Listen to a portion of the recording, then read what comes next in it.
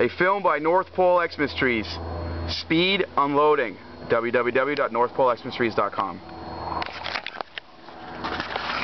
Okay, sometimes when you don't have a lot of employees and you need to get a truck unloaded, there's certain techniques that you can use to speed that up. For example, instead of carrying each tree back, I'm just going to take everyone down and lean them on the side of the truck. This way, we get a lot of trees waiting to go. We're careful when we unload them not to drag the new tree across the tip of the old tree.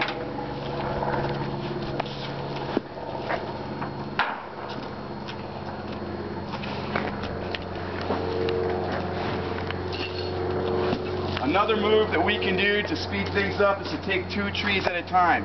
If you cannot take two trees at a time comfortably, do not do it.